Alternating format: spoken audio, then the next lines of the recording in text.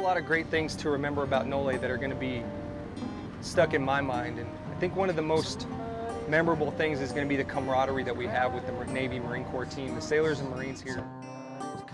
It's like you have an entire team focused on winning, you know, of winners. And they didn't come, they didn't come to play for a tie. They didn't come here to lose.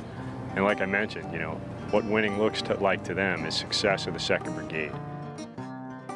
Relationship with the Marines is pretty tight. We've been together as a team since April 2013.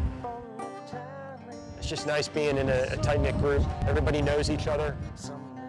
Our command is good. You know, they allow Marines to uh, do what they do. As long as they're performing their jobs, they don't worry about them. And everybody does that here. And I think that's one of the strongest things that makes this team and this FOB and this mission so successful. I think I'll take away most from this is just the experience I've gained from all the higher ups I work with. It's fulfilling, to be honest. Uh, I mean, when we first got here, we knew we were in for a challenge.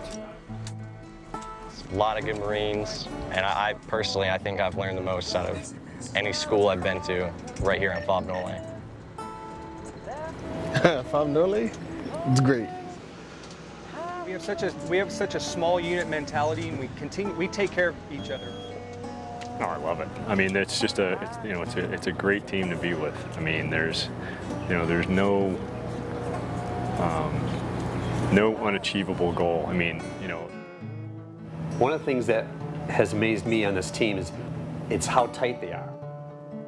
When you walk around Nolay, some people would say, well, it's so small, it must be uncomfortable. What we find comfort in the fact that it's small because when you walk by, you know the people you see every day. You eat with them, you you work with them on a daily basis. So you're not walking by strangers ever, whereas, whereas you might do in a big command. Everybody is each other's brother, and we take care of each other as such. Um, and being at Nolay, it's like, uh, it's weird. It's, uh, it's always busy. There's always something going on it's noisy, you know. There's always rounds and stuff going on. It's busy here in Sangin. You know, they, they say it's the most dangerous place in Afghanistan, but you know, it doesn't seem like that when you're here on Nolay. It's our nice little safe, safe uh, 200 square meter haven. So never feel like you're there's any threats here. It feels like home. Just like like.